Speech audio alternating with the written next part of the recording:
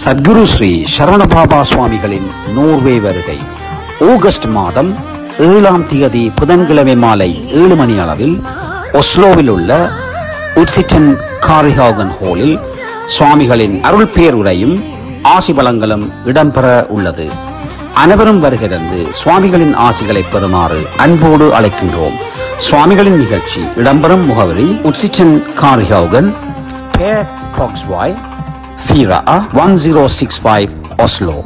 Om Sharavana Bhava.